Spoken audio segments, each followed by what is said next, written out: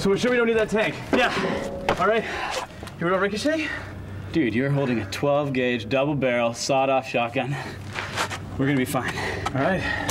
Okay. Wait.